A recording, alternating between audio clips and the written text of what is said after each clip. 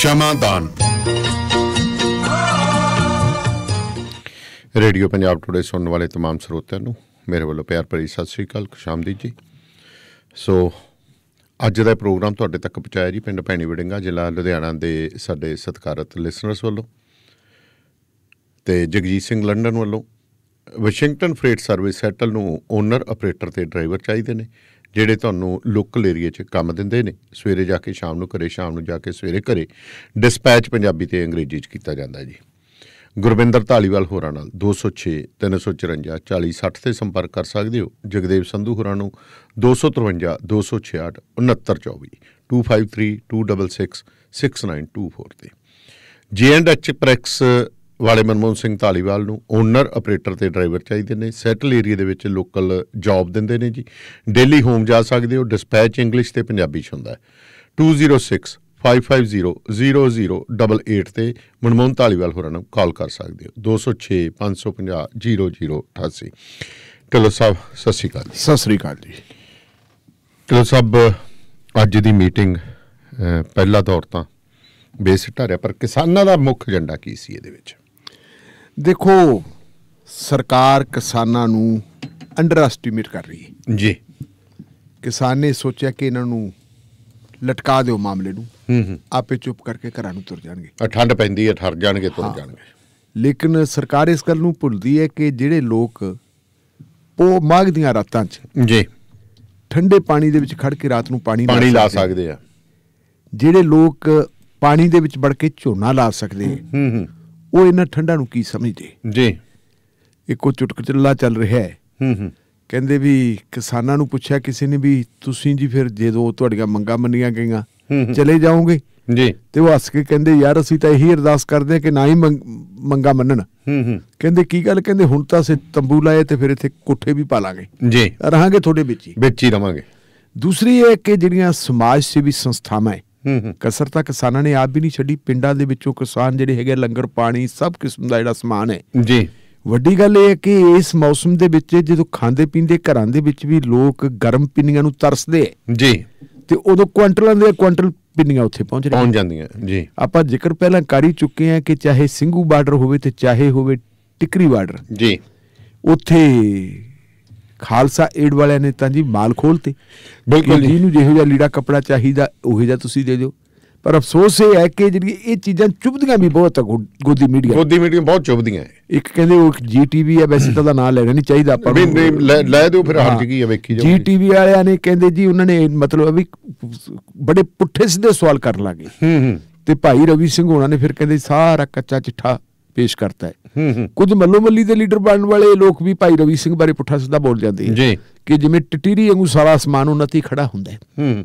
ਪਰ ਉਹਨਾਂ ਲੋਕਾਂ ਦੀ ਜਿਹੜੀ ਹੈਗੀ ਜਿਨ੍ਹਾਂ ਲੋਕਾਂ ਨੇ ਦਾਨ ਪੁੰਨ ਦਿੱਤਾ ਹੈ ਜੀ। ਤੇ ਇਸ ਮੌਸਮ ਦੇ ਵਿੱਚ ਦਾਨੇ ਵਾਲੀਆ ਸਾਹਿਬ ਜੇ ਆਪਾਂ ਦੇਖੀ ਤਾਂ ਆਪਾਂ ਵੀ ਪਿੰਡਾਂ ਦੇ ਵਿੱਚੋਂ ਆਏ ਆ ਬਜ਼ੁਰਗਾਂ ਦੀਆਂ ਮੰਜੀਆਂ ਕਿੱਥੇ ਹੁੰਦੀਆਂ? ਤੂੜੀ ਵਾਲੇ ਕੋਠੇ। ਤੂੜੀ ਵਾਲੇ ਕੋਠੇ 'ਚ ਬਿਲਕੁਲ। ਤੂੜੀ ਵਾਲੇ ਕੋਠੇ 'ਚ ਬਜ਼ੁਰਗਾਂ ਦੀਆਂ ਮੰਜੀਆਂ ਹੁੰਦੀਆਂ ਦਰੀ ਜਿਹੜੀ ਹੈਗੀ ਪੈਂਚ ਤੇ ਸਿੱਟੇ ਹੁੰਦੇ ਉੱਤੇ ਟੁੱਟੀ ਜੀ ਰਜਾਈ ਦੇ ਦਿੰਦੇ ਆ, ਕੋਈ ਨਹੀਂ ਕੰਬਲ ਨਾਲ ਹੀ ਸਾਰ ਦਿੰਦੇ ਹੂੰ ਹੂੰ। ਤੇ ਉੱਥੇ ਉਹਨਾਂ ਬਜ਼ੁਰਗਾਂ ਨੂੰ ਗਰਮ ਜਰਾਬਾਂ ਦੇਣੀਆਂ ਗਰਮ ਕੱਪੜੇ ਦੇਣੇ ਇਹ ਕੋਈ ਛੋਟੀ ਗੱਲ ਨਹੀਂ। ਸੋ ਇਹਦੇ ਚ ਕਿ ਉਹਨਾਂ ਦੀ ਸਪਲਾਈ ਲਾਈਨ ਜਿਹੜੀ ਹੈਗੀ ਹੈ ਇਹ ਜਿਵੇਂ ਸਰਕਾਰ ਸੋਚਦੀ ਸੀਗੀ ਕਿ ਟੁੱਟ ਜੂਗੀ ਸਪਲਾਈ ਲਾਈਨ ਤਾਂ ਮਜ਼ਬੂਤ ਹੋ ਰਹੀ ਹੈ। ਜੀ ਜੀ। ਕੌਮਾਂਤਰੀ ਪੱਧਰ ਤੇ ਲੋਕ ਜਿਹੜੇ ਹੈਗੇ ਉਹਨਾਂ ਦੀ ਮਦਦ ਤੇ ਆ ਗਏ ਹੈ। ਸੋ ਪਹਿਲਾਂ ਤਾਂ ਸਰਕਾਰ ਚਿੱਠੀ ਪੱਤਰ ਨਾਲ ਹੀ ਸਾਰਦੀ ਸੀ। ਹੂੰ ਹੂੰ। ਪਰ ਹੁਣ 21 ਦਿਨਾਂ ਬਾਅਦ ਸਰਕਾਰ ਤਿਆਰ ਹੋ ਗਈ ਅੱਜ 3 ਹਫ਼ਤਿਆਂ ਬਾਅਦ ਮੀਟਿੰਗ ਹੋ ਰਹੀ ਹੈ ਜੀ। ਕਿ ਜੀ ਅਸੀਂ ਮੀਟਿੰਗ ਕਰਾਂਗੇ। ਵੱਡੀ ਜਿਹੜੀ ਹੈਗੀ ਇਹਦੇ ਚ ਇਹ ਹੈ ਕਿ ਕਿਸਾਨ ਲੀਡਰਸ਼ਿਪ ਦਾ ਹੌਸਲਾ ਜਿਹੜਾ। ਹੈ ਉਹ ਬੁਲੰਦ ਆ ਪੂਰਾ। ਹੂੰ ਹੂੰ। ਉਹਨਾਂ ਨੇ ਕਹਿ ਦਿੱਤਾ ਪਹਿਲਾਂ ਵੀ ਉਹਨਾਂ ਨੇ ਜਿਹੜੀ ਹੈਗੀ ਆਪਣਾ ਏਜੰਡਾ ਭੇਜਤਾ ਸੀ। ਜੀ। ਸਰਕਾਰ ਨੇ ਇੱਕ ਉਹਨਾਂ ਨੂੰ ਭੇਜ ਦਿੱਤੀ ਚਿੱਠੀ ਭੇਜਤੀ ਕਿ ਜੀ ਅਸੀਂ ਤੁਹਾਡੇ ਨਾਲ ਗੱਲ ਕਰ ਸਕਦੇ ਹਾਂ 30 ਨੂੰ। ਹੂੰ ਹੂੰ। ਤੇ 30 ਵਾਲਾ ਜਿਹੜਾ ਸੱਦਾ ਪੱਤਰ ਮਨਜ਼ੂਰ ਕੀਤਾ ਹੈ ਜੀ। ਉਸ ਨੂੰ ਮਨਜ਼ੂਰ ਕਰਨ ਦੀ ਜਿਹੜੀ ਸਹਿਮਤੀ ਦਿੱਤੀ ਹੈ ਕਿਸਾਨਾਂ ਤੇ ਨਾਲ ਉਹਨਾਂ ਨੇ ਫਿਰ ਏਜੰਡਾ ਵੀ ਭੇਜਤਾ। ਜੀ। ਕਹਿੰਦੇ ਜੀ ਸਾਡਾ ਏਜੰਡਾ ਇਹ ਹੈ ਕਿ ਗੱਲਬਾਤ ਹੋਣੀ ਹੈ ਤਿੰਨਾਂ ਕਾਨੂੰਨਾਂ ਨੂੰ ਵਾਪਸ ਕਿਵੇਂ ਲੈਣਾ ਹੈ? ਜੀ। ਇਹ ਤਾਂ ਲੈਣੇ ਹੀ ਪੈਣਗੇ। ਹੂੰ। ਅਗਲੀ ਗੱਲ ਉਹਨਾਂ ਨੇ ਕਹੀ ਹੈ ਕਿ ਜੇ ਤੁਸੀਂ ਤਿੰਨੇ ਕਾਨੂੰਨ ਵਾਪਸ ਲੈਣੇ ਤੇ ਨਾਲ ਦੋ ਕਾਨੂੰਨ ਤੁਹਾਡੇ ਹੋਰ ਹੈ। ਜੀ। ਇੱਕ 2020 ਬਿਜਲੀ ਐਕਟ ਤੇ ਦੂਜਾ ਜਿਹੜਾ ਪਰਾਲੀ ਵਾਲਾ। ਜੀ। ਉਹ ਵੀ ਵਾਪਸ ਲੈਣੇ ਪੈਣਗੇ। ਮੈਂ ਬਲਵੀਰ ਸਿੰਘ ਰਾਜੇਵਾਲ ਦੀ ਗੱਲ ਸੁਣ ਰਿਹਾ ਸੀ ਜਦੋਂ ਮੀਟਿੰਗ ਸ਼ੁਰੂ ਹੋਣੀ ਸੀ ਉਹ ਤੋਂ ਪਹਿਲਾਂ। ਜੀ। ਉਹਨਾਂ ਨੇ ਇਹ ਵੀ ਗੱਲ ਕਹੀ ਹੈ ਮੀਟਿੰਗ ਜਾਣ ਤੋਂ ਪਹਿਲਾਂ ਕਿ ਸਵਾਲ ਹੀ ਨਹੀਂ ਪੈਦਾ ਹੁੰਦਾ ਕਿ ਅਸੀਂ ਜਿਹੜੀ ਆ ਮੰਗ ਹੈ ਇਹ ਤੋਂ ਥੜਕ ਜੀਏ ਜੀ। ਇਹ ਮੰਗ ਤਾਂ ਸਾਡੀ ਹੈ। ਤੇ ਉਹਨਾਂ ਨੇ ਨਾਲ ਇਹ ਗੱਲ ਕਹਿ ਦਿੱਤੀ ਸੀ ਕਹਿੰਦੇ ਵੀ ਸਰਕਾਰ ਨੂੰ ਸਾਡੀਆਂ ਮੰਗਾਂ ਮੰਨਣੀਆਂ ਪੈਣਗੀਆਂ ਜੇ ਅੱਜ ਦੀ ਮੀਟਿੰਗ 'ਚ ਮੰਗ ਲਈਆਂ ਠੀਕ ਹੈ। ਮੰਨ ਲਈਆਂ ਠੀਕ ਹੈ ਜੇ ਨਹੀਂ ਮੰਨਦੀ ਸਰਕਾਰ ਹੂੰ ਹੂੰ। ਤੇ ਫਿਰ ਪ੍ਰੈਸ਼ਰ ਹੋਰ ਬਿਲਡ ਕਰਾਂਗੇ। ਜੀ। ਤੇ ਜਿਹੜੇ ਅੰਦੋਲਨ ਨੂੰ ਇਹ ਕਹਿੰਦੇ ਸੀ ਕਿ ਸਿਰਫ ਪੰਜਾਬ ਦਾ ਅੰਦੋਲਨ ਦਾਨੇ ਵਾਲੀਆ ਸਾਹਿਬ ਹੁਣ ਤਾਂ ਪ੍ਰਤੱਖ ਨੂੰ ਪ੍ਰਮਾਣ ਦੀ ਲੋੜ ਨਹੀਂ। ਜੀ। ਇਹਨੂੰ ਤਾਂ ਸਾਰੀ ਦੁਨੀਆ ਨੂੰ ਪਤਾ ਲੱਗ ਗਿਆ ਕਿ ਇਹ ਦੇਸ਼ ਵਿਆਪੀ ਅੰਦੋਲਨ ਸ਼ੁਰੂ ਹੋ ਗਿਆ ਹੂੰ ਹੂੰ ਔਰ ਇਹਦੇ ਤੇ ਵੀ ਮੈਂ ਇੱਕ ਵਿਦਵਾਨ ਦੀ رائے ਪੜ੍ਹ ਰਿਹਾ ਸੀ ਉਹਨੇ ਬਹੁਤ ਵਧੀਆ ਇਹਦੀ ਵਿਆਖਿਆ ਕੀਤੀ ਹੈ ਜੀ ਉਹ ਕਹਿੰਦਾ ਵੀ ਕੁਝ ਲੋਕ ਇਹਨੂੰ ਕਹਿ ਦਿੰਦੇ ਆ ਖਾਲਿਸਤਾਨੀਆਂ ਦਾ ਅੰਦੋਲਨ ਹੈ ਹੂੰ ਹੂੰ ਕੁਝ ਲੋਕ ਕਹਿ ਦਿੰਦੇ ਆ ਇਹ ਨਕਸਲਾਈਟਾਂ ਦਾ ਅੰਦੋਲਨ ਹੈ ਜੀ ਪਰ ਉਹ ਕਹਿੰਦਾ ਮੈਂ ਕਹਿੰਦਾ ਕਿ ਇਹ ਅੰਦੋਲਨ ਸਿੱਖਾਂ ਦਾ ਨਹੀਂ ਹੂੰ ਇਹ ਅੰਦੋਲਨ ਪੰਜਾਬੀਆਂ ਦਾ ਨਹੀਂ ਜੀ ਇਹ ਅੰਦੋਲਨ ਜਿਹੜਾ ਹੈਗਾ ਇਹ ਕਿਸਾਨਾਂ ਦਾ ਵੀ ਨਹੀਂ ਹੂੰ ਹੂੰ ਇਹ ਅੰਦੋਲਨ ਕਿਹਨਾਂ ਦਾ? ਕਹਿੰਦਾ ਹਰ ਉਸ ਸ਼ਖਸ ਦਾ ਅੰਦੋਲਨ ਹੈ ਜਿਹੜਾ ਅੰਨ ਖਾਂਦਾ ਜੀ। ਇਹ ਲੋਕ ਅੰਦੋਲਨ ਬਣ ਗਿਆ ਆਪਾਂ ਤਾਂ ਬਹੁਤ ਪਹਿਲਾਂ ਹੀ ਕਹਿੰਦਾ ਸੀ ਕਿ ਲੋਕ ਅੰਦੋਲਨ ਬਣਨੇ ਕਿਉਂਕਿ ਜਿਹੜਾ ਪ੍ਰੋਸੈਸ ਹੈ ਜੀ। ਜਦੋਂ ਫਸਲ ਪੱਕਣ ਤੋਂ ਲੈ ਫਸਲ ਦੇ ਬੀਜਣ ਤੋਂ ਲੈ ਕੇ ਫਸਲ ਦੇ ਵੱਢਣ ਵੇਲੇ ਤੱਕ ਇੱਕ ਪ੍ਰੋਸੈਸ ਬਣਦਾ। ਕਿੰਨੇ ਲੋਕ ਉਹਦੇ ਨਾਲ ਜੁੜੇ ਹੁੰਦੇ? ਬਿਲਕੁਲ ਜੀ ਬਿਲਕੁਲ। ਫਿਰ ਉਸ ਫਸਲ ਨੂੰ ਮਾਰਕੀਟ ਦੇ ਵਿੱਚ ਲੈ ਕੇ ਵਿਕਰੀ ਤੱਕ ਕਿੰਨੇ ਲੋਕ ਉੱਥੇ ਜੁੜੇ ਹੁੰਦੇ? ਫਿਰ ਉਹਦੇ ਤੋਂ ਜਿਹੜਾ ਹੈਗਾ ਉਹਦੀ ਅੱਗੇ ਜਿਹੜੀ ਹੈ ਤਬਦੀਲੀ ਹੋਣੀ। ਜੀ। ਕਣਕ ਤੋਂ ਝੋਨੇ ਤੋਂ ਉਹਨੇ ਅੱਗੇ ਨਵੀਆਂ ਨਵੀਆਂ ਕਿਸਮਾਂ ਦੇ ਕਿਸਮਾਂ ਬੀਜਣੀਆਂ। ਕਿਸਮਾਂ ਬਣਨੀਆਂ। ਬਣਨੀਆਂ। ਜਿਹੜੀਆਂ ਜਿਹੜੀਆਂ ਉਹਨਾਂ ਨੇ ਫਿਰ ਜਿਹੜੀਆਂ ਕਿਸੇ ਨੇ ਮਾਲਾਂ ਚ ਵੇਚਣੀਆਂ ਕਿਸੇ ਨੇ KFC ਤੇ ਕਿਸੇ ਸਾਰੇ ਕੱਲ ਇੱਕ ਮੁੰਡਾ ਦਿਖਾਈ ਜਾਂਦਾ ਸੀ ਕਹਿੰਦਾ ਗੋਭੀ 300 ਰੁਪਏ ਦਾ ਅੱਧਾ ਕਿਲੋ ਇੱਕ ਪੀਸ ਦੱਸੋ। ਮੈਨੂੰ ਆਪਣੇ ਤੁਹਾਡਾ ਪ੍ਰੋਗਰਾਮ ਸ਼ੁਰੂ ਹੋਣ ਤੋਂ ਘੰਟਾ ਕੁ ਪਹਿਲਾਂ ਹਾਂ। ਸੁਰਜੀਤ ਸਿੰਘ ਦੌਧਰਾ ਆਪਣੇ ਜਿਹੜੇ ਰੈਗੂਲਰ ਲਿਸਨਰ ਹੈ ਜੀ ਜੀ। ਉਹਨਾਂ ਨੇ ਸ਼ਬਦ ਵਰਤਿਆ ਕਿ ਮੈਂ ਤੁਹਾਡਾ ਨਿਜਮਤ ਲਿਸਨਰ ਆ ਜੀ। ਉਹਨਾਂ ਨੇ ਮੈਨੂੰ ਵੀਡੀਓ ਭੇਜੀ। ਹਾਂ। ਕਹਿੰਦੇ ਜੀ ਅੱਧੇ ਕਿਲੋ ਦੀ ਗੋਭੀ ਦਾ ਹਿਸਾਬ ਕਿਤਾਬ ਦੱਸੀ ਜਾਂਦੇ ਤਾਂ ਇਦੋਂ ਵੱਡੀ ਠੱਗੀ ਫਿਰ ਆਪਾਂ ਹੋਰ ਕੀ ਹੋਊਗੀ? ਮੈਂ ਕਿਹਾ ਜੀ ਬਿਲਕੁਲ ਇਹੀ ਠੱਗੀ ਇਹ ਬਿਲਕੁਲ ਸਹੀ ਹੈ ਗੱਲਾਂ ਕਿ ਉਹ ਠੱਗੀ ਹੋ ਰਹੀ ਹੈ। ਸੋ ਉਹਨਾਂ ਨੇ ਤਾਂ ਜੀ ਏਜੰਡਾ ਆਪਣਾ ਤੈਅ ਕਰ ਦਿੱਤਾ ਹੈ। ਜੀ। ਹੁਣ ਸਰਕਾਰ ਇਹਦੇ ਤੇ ਕੀ ਕਰਦੀ ਹੈ? ਇਹ ਸਰਕਾਰ ਤੇ ਨਿਰਭਰ ਹੈ। ਜਿਹੜੀ ਆ ਹੁਣ ਤੁਸੀਂ ਦੱਸਿਆ ਕਿ ਪਹਿਲਾ ਗੇੜ ਦੀ ਗੱਲਬਾਤ ਹੈ ਜਿਹੜੀ ਕੋਈ ਬਹੁਤੀ ਲਾਹੇਵੰਦ ਨਹੀਂ ਰਹੀ। ਕਿਸਾਨ ਜਿਹੜੇ ਹੈਗੇ ਸਰਕਾਰ ਦਾ ਲੰਗਰ ਪਾਣੀ ਨਹੀਂ ਛਕਦੇ। ਜੀ। ਉਹ ਆਪਣਾ ਲੰਗਰ ਪਾਣੀ ਆਪਣੇ ਉਥੋਂ ਜਿਹੜੇ ਗੁਰੂ ਕੇ ਲੰਗਰ ਚੋਂ ਜਾਂਦਾ ਉਹਨਾਂ ਦਾ। ਤੇ ਅੱਜ ਇੱਕ ਨਵੀਂ ਚੀਜ਼ ਇਹ ਹੋਈ ਕਿ ਮੀਟਿੰਗ ਸ਼ੁਰੂ ਹੋਣ ਤੋਂ ਪਹਿਲਾਂ ਕੱਲ ਸ਼ਾਮੀ ਇੱਕ ਮੀਟਿੰਗ ਹੋਈ ਸੀ। ਜੀ। ਅਮਿਤ ਸ਼ਾਹ ਨੇ ਕੀਤੀ ਲੰਬੀ ਮੀਟਿੰਗ ਕੀਤੀ। ਖੇਤੀਬਾੜੀ ਮੰਤਰੀ ਤੋਮਰ ਨਾਲ ਜੀ। ਔਰ ਪੀਯੂਸ਼ ਗੋਇਲ ਦੇ ਨਾਲ। ਹੂੰ ਉਹ ਮੀਟਿੰਗ ਕਰਨ ਤੋਂ ਬਾਅਦ ਆ ਗਏ ਤੇ ਅੱਜ ਇੱਕ ਜਿਹੜੀ ਥੋੜੀ ਜੀ ਸਰਕਾਰ ਦਾ ਜਿਹੜਾ ਉਹ ਹੰਕਾਰ ਵਾਲੀ ਗੱਲ ਹੈ ਨਾ ਉਹ ਟੁੱਟਿਆ ਲੱਗਿਆ ਮੈਨੂੰ। ਹੂੰ ਹੂੰ। ਕਿਉਂਕਿ ਜਦੋਂ ਕਿਸਾਨ ਲੰਗਰ ਛਕਣ ਲੱਗੇ ਜੀ। ਸਰਕਾਰੀ ਲੰਗਰ ਦੀ ਬਜਾਏ ਵਜ਼ੀਰ ਨਾਲ ਹੀ ਆ ਗਏ। ਕਹਿੰਦੇ ਜੀ ਅਸੀਂ ਵੀ ਲੰਗਰ ਤੁਹਾਡੇ ਨਾਲ ਹੀ ਭੋਜਨ ਭੋਜਨ ਕਰਾਂਗੇ। ਭੋਜਨ ਕਰਾਂਗੇ। ਉਹ ਕਹਿੰਦੇ ਵੀ ਕਰ ਲਓ ਭੋਜਨ ਭੋਜਨ ਤਾਂ ਬਾਬੇ ਨਾਨਕ ਦਾ ਭੋਜਨ ਹੈ ਤਾਂ 20 ਰੁਪਈਆਂ ਤੋਂ ਸ਼ੁਰੂ ਹੋਇਆ ਸੀ। ਤੇ ਮੇਰੀ ਅੱਜ ਸਵੇਰੇ ਕਿਸੇ ਵਿਦੇਸ਼ੀ ਸੱਜਣ ਨਾਲ ਗੱਲ ਹੋਈ ਕਹਿੰਦੇ ਜੀ ਇਹ 20 ਰੁਪਈਆਂ ਵਾਲੀ ਗੱਲ ਕਿੱਥੋਂ ਹੈ? ਹੂੰ। ਮੈਂ ਕਿਹਾ ਜੀ 20 ਰੁਪਈਆਂ ਤੋਂ ਬਾਬੇ ਨਾਨਕ ਨੇ ਉਹ ਕਹਿੰਦਾ ਜੀ ਕੀ ਗੱਲ ਕਹੀ ਜਾਂਦੇ ਪਾਕਿਸਤਾਨ ਦੁਆਰਾ ਫੰਡਿੰਗ ਹੋ ਰਹੀ ਹੈ। ਹੂੰ। ਕਹਿੰਦਾ ਜੀ ਮੈਂ ਕਹਿੰਦਾ ਵੀ ਹਾਂ ਪਾਕਿਸਤਾਨ ਦੁਆਰਾ ਫੰਡਿੰਗ ਹੋ ਰਹੀ ਹੈ ਮੇਰੇ ਪੈਰਾਂ ਹੇਠੋਂ ਜ਼ਮੀਨ ਨਿਕਲ ਗਈ ਕਿ ਭਲਾ ਮਾਨਸ ਕੀ ਕਹੀ ਜਾਂਦੇ? ਹੂੰ। ਉਹ ਮੈਂ ਕਿਹਾ ਕਿ ਮੈਨੂੰ ਕਹਿੰਦਾ ਜੀ ਮੇਰਾ ਤਰਕ ਸੁਣੋ। ਮੈਂ ਕੀ ਗੱਲ ਹੈ? ਬਾਬਾ ਨਾਨਕ ਪੈਦਾ ਕਿੱਥੇ ਹੋਇਆ ਸੀ? ਨਨਕਾਣਾ ਸਾਹਿਬ। ਮੈਂ ਕਿਹਾ ਜੀ ਨਨਕਾਣਾ ਸਾਹਿਬ। ਬਾਬਾ ਨਾਨਕ ਜੀ ਨੇ ਬਾਹੀ ਕਿੱਥੇ ਕੀਤੀ ਸੀ? ਮੈਂ ਕਿਹਾ ਯਾਰ ਬਾਹੀ ਤਾਂ ਕਰਤਾਰਪੁਰ ਸਾਹਿਬ। ਕੀਤੀ ਸੀ। ਜੋਤੀ ਜੋਤ ਕਿੱਥੇ ਸਰੂਪ ਸਮਾਈ ਸੀ? ਮੈਂ ਕਿਹਾ ਉਹ ਵੀ ਕਰਤਾਰਪੁਰ ਸਾਹਿਬ। ਕਰਤਾਰਪੁਰ ਸਾਹਿਬ ਸਾਰਾ ਸਿਲਸਿਲਾ ਤੇ ਕਹਿੰਦਾ ਜੀ ਫਿਰ ਬਾਬੇ ਨਾਨਕ ਦੀ ਤਾਂ ਪ੍ਰਤਾਪ ਹੈ ਸਾਰਾ ਕੁਝ ਹੂੰ। ਉਹ ਇਲਾਕਾ ਤਾਂ ਸਾਡਾ ਸੀ ਚਲੋ ਪਾਕਿਸਤਾਨ ਚਲੇ ਗਏ ਬਾਕੀ ਚੀਜ਼ਾਂ ਪਾਕ ਧਰਤੀ ਦਾ ਨਾ ਹੀ ਪਾਕਿਸਤਾਨ ਹੀ। ਪਾਕਿਸਤਾਨ ਹੈ। ਹੈ ਤਾਂ ਬਾਬੇ ਨਾਨਕ ਦੀ। ਬਾਬੇ ਨਾਨਕ ਦੀ ਹੈ। ਬਾਬੇ ਨਾਨਕ ਦੀ ਕਿਰਪਾ ਕਹਿੰਦਾ ਫਿਰ ਸਾਰਾ ਕੁਝ ਛੜਾ ਹੀ ਜਾਂਦਾ। ਮੈਂ ਕਿਹਾ ਵੀ ਮੈਂ ਤੇਰਾ ਤੇਰੀ ਦਲੀਲ ਨੂੰ ਮੰਨ ਗਿਆ ਵਾਕਈ ਤੇਰੀ ਗੱਲ ਠੀਕ ਹੈ। ਵੀ ਇਹ ਬਾਬੇ ਨਾਨਕ ਦੀ ਕਿਰਪਾ ਉਹਨੂੰ ਬਾਬੇ ਨਾਨਕ ਵਾਲਾ ਲੰਗਰ ਜੀ ਅੱਜ ਉਹਨਾਂ ਨੇ ਵੀ ਛਕਿਆ ਹੂੰ। ਹੂੰ ਇਹਦੇ ਨਾਲ ਦਾਨਿਆਲ ਗਿਆ ਸਾਹਿਬ ਇੱਕ ਗੱਲ ਮੈਂ ਹੋਰ ਜੋੜਨੀ ਜੀ। ਚਾਹੂੰਗਾ ਕਿ ਕੱਲ ਸ਼ਰਦ ਪਵਾਰ ਵੀ ਬੋਲ ਪਿਆ। ਹੂੰ। ਤੁਸੀਂ ਦੇਖਿਆ ਹੋਣਾ ਕਿ ਇੱਕ ਇਲਜ਼ਾਮ ਲਾਇਆ ਸੀ ਤੋਮਰ ਸਾਹਿਬ ਨੇ ਕਿਹਾ ਸੀ ਕਿ ਜਿਹੜੀ ਡਾਕਟਰ ਮਨਮੋਹਨ ਸਿੰਘ ਦੀ ਸਰਕਾਰ ਸੀ। ਜੀ। ਪ੍ਰਧਾਨ ਮੰਤਰੀ ਤਾਂ ਡਾਕਟਰ ਮਨਮੋਹਨ ਸਿੰਘ ਸੀ। ਖੇਤੀਬਾੜੀ ਮੰਤਰੀ ਸੀ ਉਹਦੇ ਵਿੱਚ ਸ਼ਰਦ ਪਵਾਰ। ਕਹਿੰਦੇ ਉਹ ਵੀ ਇਹ ਕਾਨੂੰਨ ਲਿਆਉਣਾ ਚਾਹੁੰਦੇ ਸੀ। ਹੂੰ ਹੂੰ। ਪਰ ਉਹਨਾਂ ਦੇ ਵਿੱਚ ਕਹਿੰਦੇ ਇੰਨਾ ਹੌਸਲਾ ਨਹੀਂ ਸੀ ਤਾਕਤ ਨਹੀਂ ਸੀ। ਉਹ ਕਹਿੰਦੇ ਵੀ ਵਿਰੋਧ ਤੋਂ ਡਰ ਕੇ ਤੇ ਉਹਨਾਂ ਨੇ ਕਾਨੂੰਨ ਹੀ ਲਿਆਂਦੇ ਨਹੀਂ ਹੂੰ। ਸਾਡਾ ਪ੍ਰਧਾਨ ਮੰਤਰੀ ਕਹਿੰਦੇ ਵੀ ਕਿਸੇ ਵਿਰੋਧ ਵਿਰੋਧ ਦੀ ਪਰਵਾਹ ਹੀ ਨਹੀਂ ਕਰਦਾ। ਹਾਂ ਹਾਂ। ਇਹਨੇ ਕਹਿੰਦਾ ਕਿਸੇ ਦਾ ਦਬਾਅ ਨਹੀਂ ਮੰਨਿਆ ਤੇ ਇਹਨੇ ਕਾਨੂੰਨ ਲੈ ਆਂਦੇ। ਉਹਦਾ ਫਿਰ ਅੱਜ ਜਵਾਬ ਦਿੱਤਾ। ਹੂੰ। ਸ਼ਰਦ ਪਵਾਰ ਨੇ ਸ਼ਰਦ ਪਵਾਰ ਕਹਿੰਦਾ ਹਾਂ ਖੇਤੀਬਾੜੀ ਦੀ ਆਮਦਨ 'ਚ ਜਿਹੜੀ ਖੜੋਤ ਆਈ ਵੀ ਹੈ ਜੀ। ਉਹ ਖੜੋਤ ਨੂੰ ਤੋੜ ਕੇ ਕਿਸਾਨਾਂ ਦੀ ਆਮਦਨ ਕਿਵੇਂ ਵਧਾਈ ਜਾਵੇ? ਜੀ। ਇਹਦੇ ਬਾਰੇ ਅਸੀਂ ਸੋਚ ਵਿਚਾਰ ਕੀਤੀ ਸੀ ਕਿ ਕਾਨੂੰਨ ਦੇ ਵਿੱਚ ਕੁਝ ਸੋਧਾਂ ਕੀਤੀਆਂ ਜਾਣ। ਜੀ। ਅਸੀਂ ਕਾਨੂੰਨ ਬਣਾਉਣ ਬਾਰੇ ਜਦੋਂ ਗੱਲ ਕੀਤੀ ਸੀ ਉਹ ਕਹਿੰਦੇ ਅਸੀਂ ਠੰਡੇ ਕਮਰਿਆਂ ਦੇ ਵਿੱਚ ਬੈਠ ਕੇ ਜਾਂ ਨਿੱਘੇ ਕਮਰਿਆਂ 'ਚ ਹੀਟਰਾਂ ਦੇ ਵਿੱਚ ਬੈਠ ਕੇ ਨਹੀਂ ਬਣਾਈ। ਸੀ। ਹੂੰ ਹੂੰ। ਅਸੀਂ ਜਿਹੜੀ ਸਾਡੀ ਪ੍ਰਪੋਜ਼ਲ ਸੀ ਉਸ ਪ੍ਰਪੋਜ਼ਲ ਦੇ ਆਧਾਰ ਦੇ ਉੱਤੇ ਰਾਜ ਸਰਕਾਰਾਂ ਤੋਂ ਉਹਨਾਂ ਦੀ ਰਾਏ ਮੰਗੀ। ਜੀ। ਕਿ ਦੱਸੋ ਜੀ ਤੁਸੀਂ ਕੀ ਕਹਿਣਾ ਚਾਹੁੰਦੇ? ਅਸੀਂ ਕਿਸਾਨ ਧਿਰਾਂ ਸੀ ਜਿਹੜੀਆਂ ਉਹਨਾਂ ਦੀ ਰਾਏ ਵੀ ਮੰਗੀ। ਕਿਸਾਨ ਕਮਿਸ਼ਨ ਜਿਹੜਾ ਹੈਗਾ ਪਲੈਨਿੰਗ ਕਮਿਸ਼ਨ ਅਸੀਂ ਉਹਨਾਂ ਦੀ ਰਾਏ ਵੀ ਮੰਗੀ। ਜੀ। ਬਿਊਰੋਕ੍ਰੇਸੀ ਦੇ ਵਿੱਚ ਹਰ ਕਿਸਮ ਦੇ ਲੋਕ ਹੁੰਦੇ ਅਸੀਂ ਉਹਨਾਂ ਦੀ ਰਾਏ ਵੀ ਮੰਗੀ। ਜਦੋਂ ਬਹੁ ਗਿਣਤੀ ਦੀ ਰਾਏ ਇਹ ਸੀ ਕਿ ਕਿਸਾਨੀ ਦੇ ਕਾਨੂੰਨਾਂ ਨਾਲ ਛੇੜਛਾੜ ਨਾ ਕੀਤੀ ਜਾਵੇ ਜੀ। ਤੇ ਅਸੀਂ ਮਾਮਲਾ ਉੱਥੇ ਰੱਦ ਕਰਤਾ। ਅਸੀਂ ਕੰਮ ਵਧਾਇਆ ਹੀ ਨਹੀਂ। ਹੂੰ ਹੂੰ। ਤੇ ਹੁਣ ਲੱਖਾਂ ਲੋਕ ਜਿਹੜੇ ਹੈਗੇ ਦਿੱਲੀ ਦੀਆਂ ਬਰੂਹਾਂ ਤੇ ਬੈਠੇ। ਜੀ। ਕੋਈ ਲੱਖ ਕਹਿ ਦਿੰਦਾ ਕੋਈ ਡੂਢ ਲੱਖ ਕਹਿ ਦਿੰਦਾ ਪਰ ਲੇਕਿਨ ਜੇ ਮੇਰੀ ਜੀ ਇਨਫੋਰਮੇਸ਼ਨ ਤੁਸੀਂ ਦੇਖੋ ਤਾਂ ਇਸ ਵੇਲੇ ਲਗਭਗ 10 ਲੱਖ ਦੇ ਕਰੀਬ ਲੋਕ ਪਹੁੰਚ ਗਏ। ਹੂੰ ਹੂੰ। ਉਹ ਕਹਿੰਦੇ ਵੀ ਐਡੀ ਵੱਡੀ ਗਿਣਤੀ ਦੇ ਵਿੱਚ ਬੈਠੇ ਆ ਪ੍ਰਧਾਨ ਮੰਤਰੀ ਹੈ ਕਿਹਦੇ ਵਾਸਤੇ? ਜੀ। ਪ੍ਰਧਾਨ ਮੰਤਰੀ ਅੰਬਾਨੀ ਅਦਾਨੀ ਵਾਸਤੇ ਜਾਂ ਲੋਕਾਂ ਦੇ ਵਾਸਤੇ? ਹੂੰ ਹੂੰ। 10 ਲੱਖ ਲੋਕ ਤਾਂ ਕਹਿੰਦੇ ਸਾਨੂੰ ਇਹ ਕਾਨੂੰਨ ਨਹੀਂ ਚਾਹੀਦੇ। ਜੀ। ਉਹ ਕਹਿੰਦਾ ਨਹੀਂ ਨਹੀਂ ਇਹ ਕਾਨੂੰਨ ਤੁਹਾਨੂੰ ਦੇਣੀ ਦੇਣੇ ਤੁਸੀਂ ਲਓ।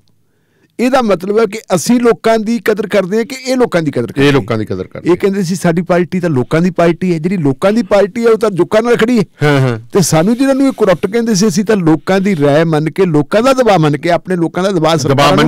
ਮੰਨਣਾ- ਪੈਂਦਾ।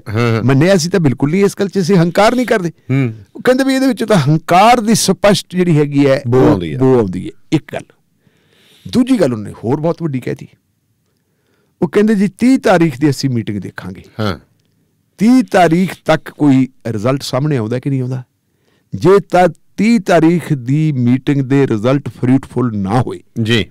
ਤਾਂ ਫਿਰ ਆਪੋਜੀਸ਼ਨ ਹੱਥ ਤੇ ਹੱਥ ਧਰ ਕੇ ਨਹੀਂ ਬੈਠੂਗੀ ਫਿਰ। ਅਸੀਂ ਵੀ ਮੈਦਾਨ ਚ ਆਵਾਂਗੇ। ਅਸੀਂ ਵੀ ਨਾਲ ਖੜਾਂਗੇ।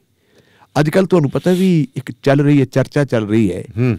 ਕਿ ਯੂਪੀਏ ਦਾ ਚੇਅਰਪਰਸਨ ਸ਼ਰਦ ਪਵਾਰ ਨੂੰ ਬਣਾ ਦਿੱਤਾ ਹੈ ਜੀ। ਯੂਪੀਏ ਦਾ ਚੇਅਰਪਰਸਨ ਬਣਨ ਦਾ ਮਤਲਬ ਹੈ ਬਹੁਤ ਪਾਵਰਫੁਲ ਪਾਵਰਫੁਲ ਬੰਦਾ ਹੋ ਜਾਣਾ। ਤੇ ਫਿਰ ਉਹ ਤੋਂ ਬਾਅਦ ਅੱਗੇ ਗੱਲ ਕੀ ਜਾਂਦੀ ਹੈ? ਚੇਅਰਪਰਸਨ ਤੋਂ ਫਿਰ ਅਗਲੀ ਕੁਰਸੀ ਦਾ ਪ੍ਰਧਾਨ ਮੰਤਰੀ ਪ੍ਰਧਾਨ। ਮੰਤਰੀ ਦੀ ਹੈ। ਤੇ 2000 2024 ਚ ਹੋਣੀ ਹੈ ਇਲੈਕਸ਼ਨ ਇਲੈਕਸ਼ਨ ਤੇ ਉਹ ਤਾਂ ਫਿਰ ਪਾਊਗਾ। ਵੈਸੇ ਉਹਨੇ ਕਹਿ ਦਿੱਤਾ ਕਿ ਮੇਰਾ ਕੋਈ ਇਰਾਦਾ ਨਹੀਂ ਬਣਦਾ। ਪਰ ਜਦੋਂ ਇਹ ਕਹਿ ਦੇਵੇ ਨਾ ਲੀਡਰ ਕਿ ਮੇਰਾ ਕੋਈ ਬਣਦਾ ਇਰਾਦਾ ਨਹੀਂ ਤਾਂ ਮਤਲਬ ਹੈਗਾ। ਵੀ ਪੱਕਾ ਇਰਾਦਾ। ਹੂੰ ਹੂੰ। ਪਰ ਉਹਨੇ ਫਿਰ ਨਾਲ ਜਿਹੜੀ ਅਗਲੀ ਗੱਲ ਜਿਹੜੀ ਇਹ ਕਹੀ ਸੀ ਕਿ ਇਹਦੇ ਹੁਣ ਸਵਾਲ ਵੱਡਾ ਇਹ ਪੈਦਾ ਹੁੰਦਾ ਕਿ ਕੀ ਕਿਸਾਨ ਤਰ੍ਹਾਂ ਆਪੋਜੀਸ਼ਨ ਨੂੰ ਅਲਾਉ ਕਰਨਗੀਆਂ? ਹੁਣ ਨਾ ਵੀ ਕਰਨ ਤਾਂ ਬਾਹਰ ਬੈਠੇ ਵੀ ਮੈਂ ਮੈਂ ਉੱਥੇ ਕੰਮ। ਮੈਂ ਉੱਥੇ ਉਹਨਾਂ ਹੁਣ ਕਿਸਾਨ ਧਿਰਾਂ ਨੇ ਜਿਹੜਾ ਹੈਗਾ ਆਪੋਜੀਸ਼ਨ ਦਾ ਗ੍ਰਹਿਣ ਨਹੀਂ ਲੱਗਣ ਦਿੱਤਾ ਆਪਣੇ ਅੰਦੋਲਨ ਨੂੰ ਬਾਹਰ ਹੋ ਗਏ। ਪਰ ਜੇ ਆਪਾਂ ਇਤਿਹਾਸ ਨੂੰ ਦੇਖੀਏ ਜੀ। ਚਾਹੇ ਐਮਰਜੈਂਸੀ ਤੋਂ ਪਹਿਲਾਂ ਇੰਦਰਾ ਗਾਂਧੀ ਦੇ ਖਿਲਾਫ ਜਿਹੜਾ ਅੰਦੋਲਨ ਸ਼ੁਰੂ ਹੋਇਆ ਸੀ ਸ਼ੁਰੂ ਤਾਂ ਵਿਦਿਆਰਥੀਆਂ ਤੋਂ ਹੋਇਆ ਸੀ ਪਰ ਉਹਦੇ ਵਿੱਚ ਰਾਜਨੀਤਿਕ ਪਾਰਟੀਆਂ ਆਈਆਂ। ਆਈਆਂ। ਅੰਨਾ ਹਜ਼ਾਰੇ ਦੀ ਮੂਵਮੈਂਟ ਹੈ ਜਿਹੜੀ ਕਰਪਸ਼ਨ ਦੇ ਖਿਲਾਫ ਸੀ। ਉਹਦੇ ਵਿੱਚ ਵੀ ਆ ਉਹਦੇ ਵਿੱਚ ਰਾਜਨੀਤਿਕ ਪਾਰਟੀਆਂ ਵੀ ਆਈਆਂ। ਉਹ ਕਿਹੜਾ ਮੌਕਾ ਜਿੱਥੇ ਰਾਜਨੀਤਿਕ ਪਾਰਟੀਆਂ ਨਹੀਂ ਹੁੰਦੀਆਂ? ਆਜ਼ਾਦਾਨਾ ਤੌਰ ਤੇ ਰਾਜਨੀਤਿਕ ਪਾਰਟੀਆਂ ਵੀ ਫਿਰ ਸੜਕਾਂ ਤੇ ਨਿਕਲ ਸਕਦੀਆਂ ਨਿਕਲ ਸਕਦੀ ਬਿਲਕੁਲ। ਕਿਉਂਕਿ ਢਿੱਲੋਂ ਸਾਹਿਬ ਅੱਜ ਵੀ ਚਰਚਾ ਹੋ ਰਹੀ ਸੀ।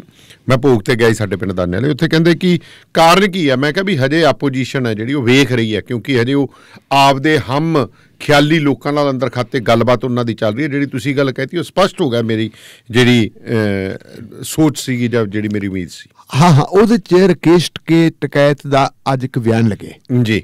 ਉਸ ਬਿਆਨ ਨੂੰ ਜੇ ਆਪਾਂ ਥੋੜਾ ਜਿਹਾ ਬਰੀਕੀ ਨਾਲ ਦੇਖੀਏ ਜੀ। ਤਾਂ ਉਹਨੇ ਦੋ ਗੱਲਾਂ ਕਹੀਆਂ। ਇੱਕ ਗੱਲ ਤਾਂ ਉਹਨੇ ਕਹੀ ਹੈ ਕਿ ਅਸੀਂ ਜੇ ਸਾਡਾ ਮੰਗਾਂ ਨਾ ਮੰਨੀਆਂ ਤਾਂ ਇਹ ਮਤ ਭੁੱਲੋ ਕਿ ਅਸੀਂ ਘਰਾਂ ਨੂੰ ਜਾਵਾਂਗੇ। ਜੀ। ਭਾਵੇਂ ਸਾਲਾਂ ਦੇ ਸਾਲ ਬੈਠਣੇ ਪੈਣ ਹੁਣ ਦਿੱਲੀ ਅਸੀਂ ਛੱਡਾਂਗੇ ਨਹੀਂ। ਹੂੰ ਹੂੰ। ਦਿੱਲੀ ਦੇ ਆਲੇ ਦੁਆਲੇ ਬੈਠਾਂਗੇ। ਦੂਜੀ ਗੱਲ ਉਹਨੇ ਬੜੀ ਪਾਇਦਾਰ ਕਹੀ ਹੈ ਜੀ। ਕਿ ਡੈਮੋਕ੍ਰੇਸੀ ਦੇ ਵਿੱਚ ਕਮਜ਼ੋਰ ਆਪੋਜੀਸ਼ਨ ਨਹੀਂ ਹੋਣੀ ਚਾਹੀਦੀ। ਬਿਲਕੁਲ ਬਿਲਕੁਲ। ਜਦੋਂ ਆਪੋਜੀਸ਼ਨ ਕਮਜ਼ੋਰ ਹੋ ਜਾਏ ਨਾ। ਉਸ ਵੇਲੇ ਫਿਰ ਸਰਕਾਰ ਪੁੱਛਰ ਜਾਂਦੀ ਹੈ। ਔਰ ਉਹ ਸਰ- ਸਰਕਾਰ ਲੋਕਾਂ ਲਈ ਜਿਹੜੀ ਹੈਗੀ ਹੈ ਘਾਤਕ ਹੁੰਦੀ ਹੈ। ਜੀ। ਅੱਜ ਜਿਹੜਾ ਕਹਿੰਦਾ ਕਿਸਾਨਾਂ ਦੇ ਨਾਲ ਆ ਕੁਝ ਹੋ ਰਿਹਾ ਹੈ ਜਾਂ ਆਮ ਲੋਕਾਂ ਦੇ ਨਾਲ ਹੋ ਰਿਹਾ ਇਹਦਾ ਕਾਰਨ ਹੈ ਕਿ ਆਪੋਜੀਸ਼ਨ ਕਮਜ਼ੋਰ ਹੈ। ਜੀ। ਹੁਣ ਇਹਨੂੰ ਆਪਾਂ ਜੇ ਦੂਸਰੇ ਸ਼ਬਦਾਂ ਦੇ ਵਿੱਚ ਦੇਖੀਏ ਜਦੋਂ ਸ਼ਰਦ ਪਵਾਰ ਇਹ ਗੱਲ ਕਹਿੰਦਾ ਕਿ ਫਿਰ ਸਾਨੂੰ ਵੀ ਆਉਣਾ ਪੈਣਾ ਜੀ। ਇਹਦਾ ਮਤਲਬ ਹੈ ਕਿ ਹੁਣ ਮਟੀਰੀਅਲ ਸਾਹਮਣੇ ਪਿਆ ਉਹਨੂੰ ਸੰਭਾਲਣ ਦੀ ਲੋੜ ਹੈ। ਜੀ। ਆਪੋਜੀਸ਼ਨ ਜੇ ਸੱਦਾ ਦਿੰਦੀ ਹੈ ਕਿ ਹਾਂ ਆਓ ਜਿਹੜੇ ਲੋਕ ਅੱਕੇ ਹੋਏ ਆ ਕੁਝ ਲੋਕ ਤਾਂ ਚਲੇ ਗਏ ਦਿੱਲੀ। ਹੂੰ ਹੂੰ। ਅਜੇ ਬਹੁਤ ਸਾਰੇ ਲੋਕ ਇੱਥੇ ਜਦੋਂ ਵੀ ਕੋਈ ਸੱਦਾ ਮਿਲਦਾ ਕੋਈ ਕਾਲ ਆਉਂਦੀ ਹੈ ਤੇ ਨਾਲ ਦੀ ਨਾਲ ਲੋਕ ਆ ਕੇ ਰਿਐਕਟ ਕਰਦੇ। ਜੇ ਆਪੋਜੀਸ਼ਨ ਨੇ ਜ਼ਿਲ੍ਹਿਆਂ ਦੇ ਵਿੱਚ ਅੰਦੋਲਨ ਸ਼ੁਰੂ ਕਰਤੇ ਬਸ ਫਿਰ ਤਾਂ। ਜ਼ਿਲ੍ਹਾ ਪੱਧਰ ਦੇ ਉੱਤੇ ਸਾਰੀਆਂ ਆਪੋਜੀਸ਼ਨ ਮਿਲ ਕੇ ਇਕੱਠੀਆਂ ਲਾਉਣਗੀਆਂ ਤੇ ਲੋਕ ਆਂਦਾ ਆਪ ਮੁਹਾਰੇ ਹੀ ਉਹਨਾਂ ਨੂੰ ਸਮਰਥਨ ਮਿਲਣਾ ਸ਼ੁਰੂ ਹੋ ਜਾਊਗਾ। ਔਰ ਉਹ ਸਰਕਾਰ ਵਾਸਤੇ ਘਾਤਕ ਹੋਊਗਾ ਇਹ ਗੱਲ ਜੇ ਆਪਾਂ ਇੱਥੇ ਮਾਈਕ ਤੇ ਬੈਠ ਕੇ ਕਰ ਰਹੇ ਹਾਂ ਮੇਰਾ ਖਿਆਲ ਹੈ ਵੀ ਨਰਿੰਦਰ ਮੋਦੀ ਸਾਹਿਬ ਦਾ ਜੇ ਕੋਈ ਥਿੰਕ ਟੈਂਕ ਹੈਗਾ ਸਿਆਣਾ ਥਿੰਕ ਟੈਂਕ ਹੈ ਤੇ ਉਹਨੂੰ ਵੀ ਸੋਚਣੀ ਚਾਹੀਦੀ ਹੈ। ਢਿੱਲੋਂ ਸਾਹਿਬ ਗੱਲ ਸੁਣੋ ਹੁਣ ਬੀਜੇਪੀ ਦੇ ਆਮ ਵਰਕਰ ਪੂਰਾ ਡਰਿਆ ਹੋਇਆ ਹੈ। ਜੀ ਬਿਲਕੁਲ। ਦੇਖੋ ਕਾਰਪੋਰੇਸ਼ਨ ਦੇ ਇਲੈਕਸ਼ਨ ਬਠਿੰਡੇ 'ਚ। ਹੂੰ। ਆਪਾਂ ਕਹਿੰਦੇ ਕਿ ਬੀਜੇਪੀ ਦੀ ਵੋਟ ਬਹੁਤ ਹੈ ਇੱਥੇ। ਪਰ ਕੀ ਵਿਚਾਰਾ ਕੋਈ ਕੁਸਕੇ ਟਿਕਟਾਂ ਤੋਂ ਭੱਜ ਰਹੇ ਲੈਣ ਤੋਂ। ਟਿਕਟਾਂ ਤੋਂ ਭੱਜ ਰਿਹਾ। ਹੁਣ ਜਦੋਂ ਕਿਸੇ ਵੀ ਪਾਰਟੀ ਦਾ ਕਾਡਰ ਜਾਂ ਫੌਜ ਦਾ ਸਿਪਾਹੀ ਕਮਜ਼ੋਰ ਹੋ ਜੇ ਤੇ ਫਿਰ ਉੱਥੇ ਫੌਜ ਦਾ ਜਰਨੈਲ ਕੀ ਕਰੂਗਾ? ਦੇਖੋ ਬੇਦਲ ਫੌਜਾਂ ਕਦੇ ਜੰਗ ਨਹੀਂ ਜਿੱਤ ਸਕਦੀ ਨਹੀਂ ਜਿੱਤ ਸਕਦੀ ਹੁਣ ਬੇਦਲ ਹੋਏ ਵੇ ਭਾਰਤੀ ਬੇਦਿਲ ਜਨਤਾ ਹੋਏ ਪਾਰਟੀ ਵੇ। ਦੇ ਲੋਕ ਹਾਂ। ਇੱਥੇ ਭਾਰਤੀ ਜਨਤਾ ਪਾਰਟੀ ਦੇ ਲੋਕ ਬੇਦਲ ਹੋਏ ਤੇ ਜੇ ਆਪਾਂ ਸੁਖਵੀਰ ਬਾਦਲ ਦੀ ਗੱਲ ਮੰਨੀਏ ਜੀ ਤਾਂ ਸੁਖਵੀਰ ਸਿੰਘ ਬਾਦਲ ਕਹਿੰਦਾ ਕਿ ਜਦੋਂ ਅਸੀਂ ਐਲਾਨ ਕੀਤਾ ਸੀ ਹੂੰ ਕਿ ਅਸੀਂ ਜੀ ਜਿਹੜੀ ਹੈ ਹਮਾਇਤ ਵਾਪਸ ਆਪਣਾ ਤੋੜਾ ਅਸਤੀਫਾ ਦੇ ਰਹੇ ਹਾਂ ਹੂੰ ਉਸ ਵੇਲੇ ਕਹਿੰਦਾ ਵੀ ਆਪੋਜੀਸ਼ਨ ਦੀ ਬਜਾਏ ਰੂਲਿੰਗ ਪਾਰਟੀ ਦੇ ਐਮਐਲਏ ਜਿਹੜੇ ਬਿਹਾਰ ਯੂਪੀ ਦੇ ਸੀ ਐਮਪੀ ਸੌਰੀ।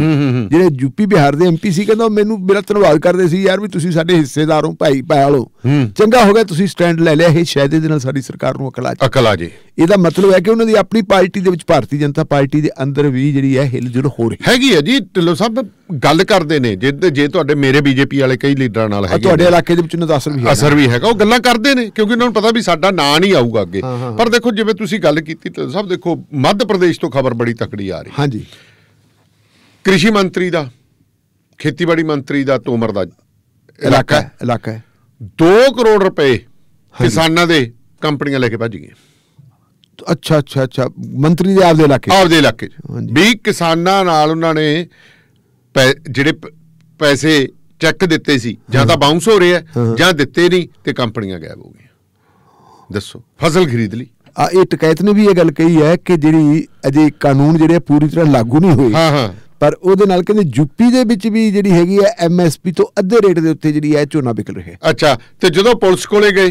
ਪੁਲਿਸ ਕਹਿੰਦੇ ਵੀ ਤੁਸੀਂ ਇਸ ਕਾਨੂੰਨ ਦੇ ਵਿੱਚ ਤਾਂ ਸਾਡੇ ਕੋਲ ਸ਼ਿਕਾਇਤ ਹੀ ਨਹੀਂ ਕਰ ਸਕਦੇ ਐਸਡੀਐਮ ਦੇ ਦਫ਼ਤਰ ਜਾਓ। ਹੁਣ ਦੱਸੋ।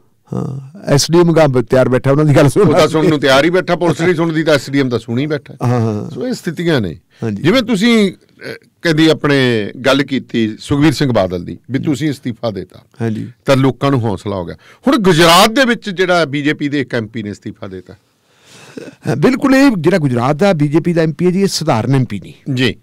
ਪਹਿਲੀ ਗੱਲ ਤਾਂ ਕਿ ਇਹ ਐਮਪੀ ਜਿਹੜਾ ਹੈਗਾ 6 ਵਾਰੀ ਭਰੂਚ ਜਿਹੜੀ ਕੰਸਟੀਟਿਊਂਸੀ ਭਰੂਚ।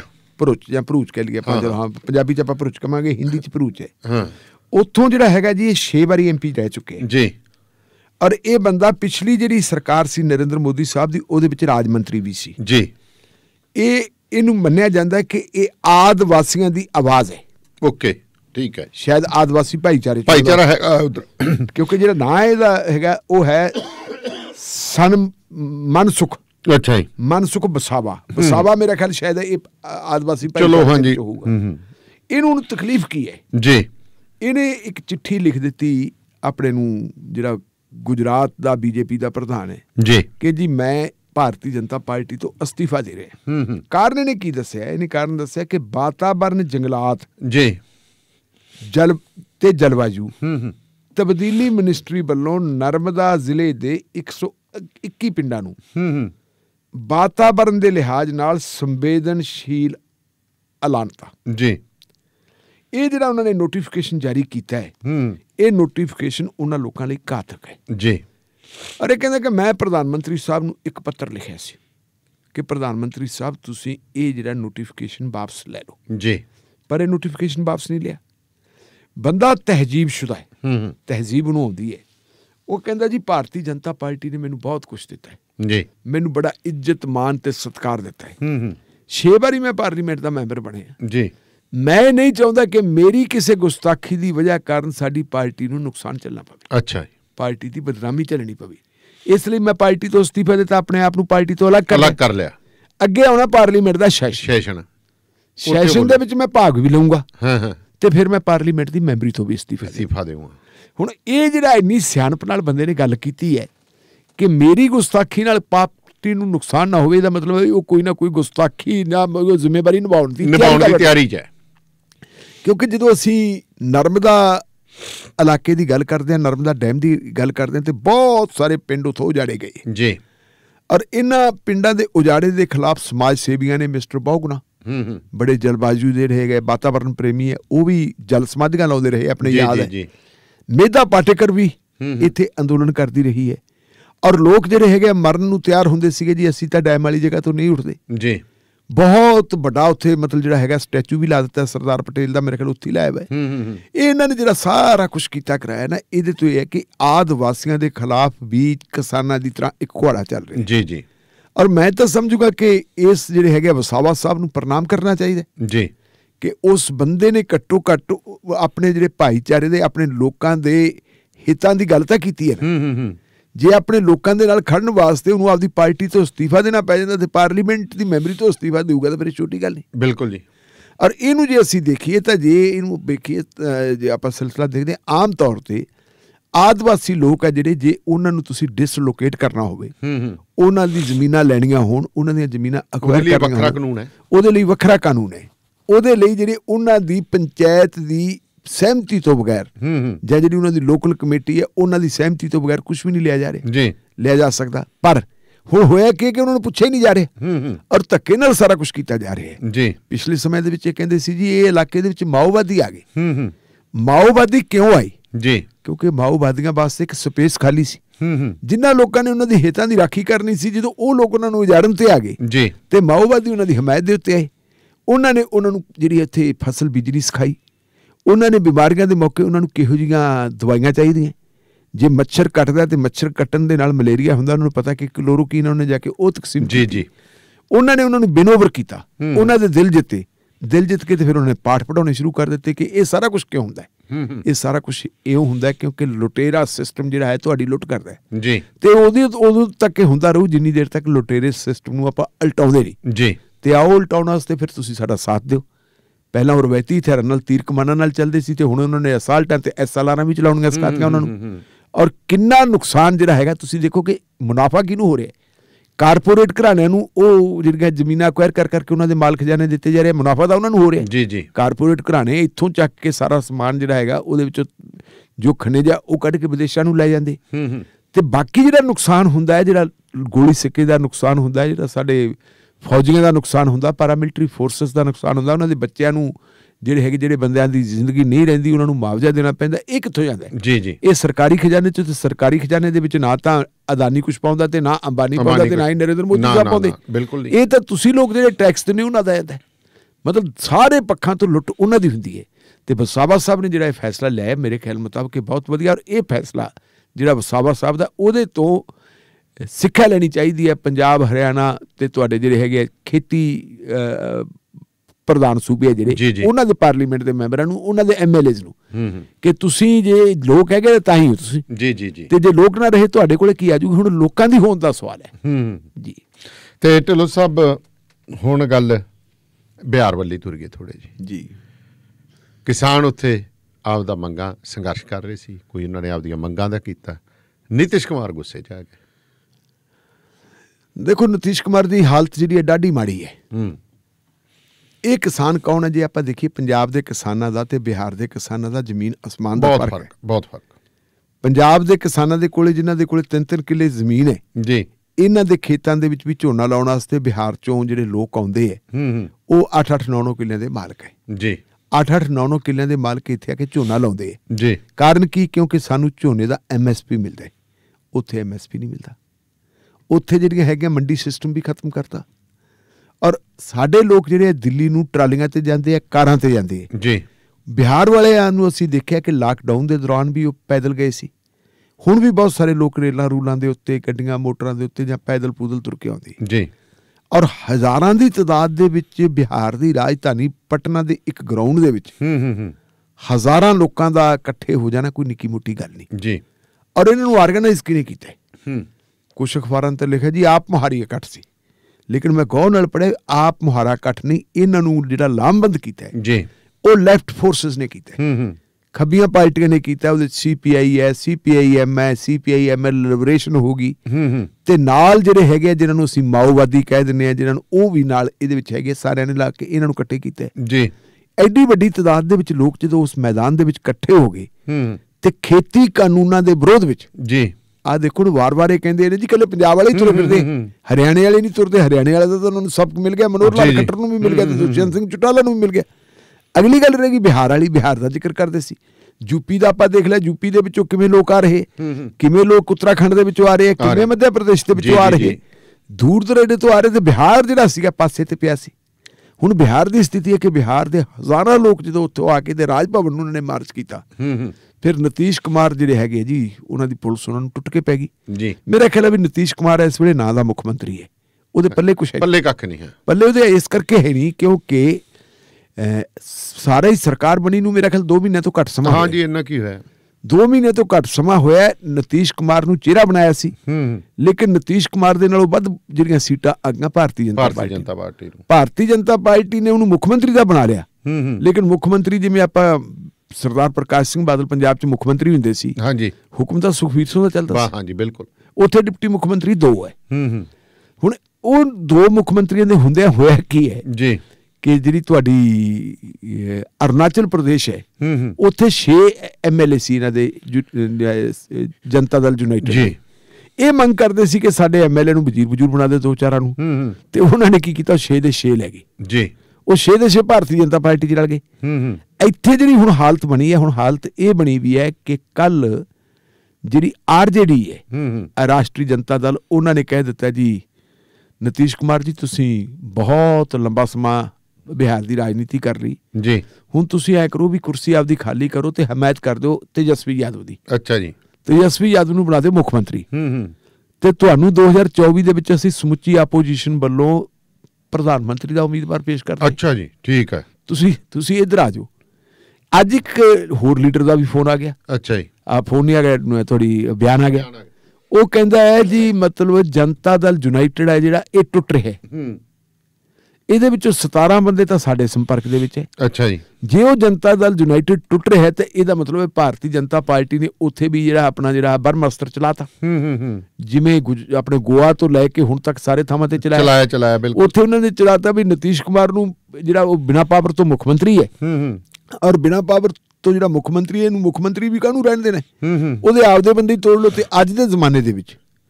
ਸੱਤੇ ਜੋ ਤਕੜੇ ਦਾ ਸੱਤੀ ਵੀ ਹੀ 100 100 ਹੋਵੇ ਹਾਂਜੀ। ਜਿਹਦੇ ਕੋਲੇ ਪਾਵਰ ਸੈਂਟਰ ਦੀ ਹੈ ਜਿਨ੍ਹਾਂ ਦੇ ਕੋਲੇ ਅਮਿਤ ਸ਼ਾਹ ਵਰਗੇ ਬੰਦੇ ਆ ਜਿਹੜੇ ਪਰਵਾਹ ਹੀ ਨਹੀਂ ਕਰਦੇ ਕਿ ਜਿਹੜੇ ਹੈਗੇ ਤੁਹਾਡੇ ਵਿਧਾਨ ਕੀ ਕਹਿੰਦਾ ਹੈ। ਜੀ ਜੀ। ਸਟੇਟ ਸਬਜੈਕਟ ਦੇ ਵਿੱਚ ਵੀ ਸਿੱਧੀ ਦਖਲਅੰਦਾਜ਼ੀ ਕੀਤੀ ਜਾਂਦੀ। ਹੁਣ ਆ ਜਿਹੜੀ ਸਟੇਟ ਸਬਜੈਕਟ ਦੇ ਵਿੱਚ ਦਖਲਅੰਦਾਜ਼ੀ ਦੀ ਗੱਲ ਕਰਦੇ ਆ ਇਹ ਕਹਿੰਦੇ ਜੀ ਜਿਹੜੇ ਕਾਰਪੋਰੇਟ ਘਰਾਣੇ ਉਹਨਾਂ ਨੇ ਦਬਾਅ ਪਾਇਆ ਸੀ। ਦਬਾਅ ਪਾਇਆ ਸੀ। ਵੀ ਤੁਸੀਂ ਜਿਹੜੇ ਵੱਖ-ਵੱਖ ਸਟੇਟਾਂ ਦੇ ਵੱਖ-ਵੱਖ ਕਾਨੂੰਨ ਹੈ ਉਹ ਇੱਕ ਕਰੋ। ਇੱਕੋ ਕਰੋ ਜੀ। ਅਸੀਂ ਐਵੇਂ ਫਾਇਦੇ ਨਹੀਂ ਅਸੀਂ ਅਸੀਂ ਸਿੱਧੀ ਤੁਹਾਡੇ ਨਾਲ ਹੀ ਗੱਲ ਕਰਦੇ ਆ ਆਪਾਂ ਲੈਣ ਦੇ ਨਾਲ ਕੰਮ ਕਹੀਏ। ਹਾਂ ਹਾਂ। ਉਹਨਾਂ ਨੇ ਹੁਣ ਜਿਹੜੇ ਹੈਗੇ ਸਟੇਟ ਸਬਜੈਕਟ ਨੂੰ ਵੀ ਹਥਿਆਉਣਾ ਸ਼ੁਰੂ ਕਰ ਹੋਣਾ ਸ਼ੁਰੂ ਕਰਤਾ। ਇਸ ਕਰਕੇ ਮਤਲਬ ਜਿਹੜੇ ਹੈਗੇ ਉਹ ਲੋਕ ਜਿਹੜੇ ਹੈਗੇ ਸਟੇਟ ਸਬਜੈਕਟ ਵਾਲਾ ਜਿਹੜਾ ਸਿਲਸਿਲਾ ਉਹਨਾਂ ਦਾ ਭੋਗ ਪਾਈ ਦੇਣਾ ਉਹਨਾਂ ਨੇ।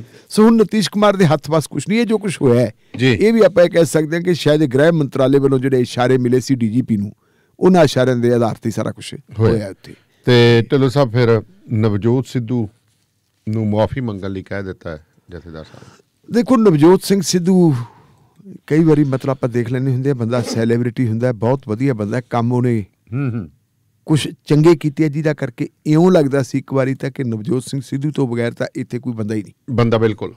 ਜਦੋਂ ਕਰਤਾਰਪੁਰ ਸਾਹਿਬ ਦਾ ਲਾਂਘਾ ਖੁਲਵਾਇਆ ਹੈ, ਹੂੰ। ਇਮਰਾਨ ਖਾਨ ਨੇ ਸਹੁੰ ਚੁੱਕੀ ਸੀ ਮਿੱਤਰ ਸੀ ਉਹਦਾ ਇਕੱਠੇ ਕ੍ਰਿਕਟਰ ਸੀ ਬੁਲਾਇਆ ਸੀ। ਜੀ। ਤੇ ਵਾਗੇ ਦਾ ਬਾਰਡਰ ਕ੍ਰਾਸ ਕਰਦਿਆਂ ਸਾਰੀ ਜੋ ਇੱਜ਼ਤ ਮਾਣ ਮਿਲਿਆ ਨਵਜੋਤ ਸਿੱਧੂ ਨੂੰ ਬਹੁਤ ਵੱਡਾ ਮਿਲਿਆ ਸੀ। ਜੀ ਜੀ।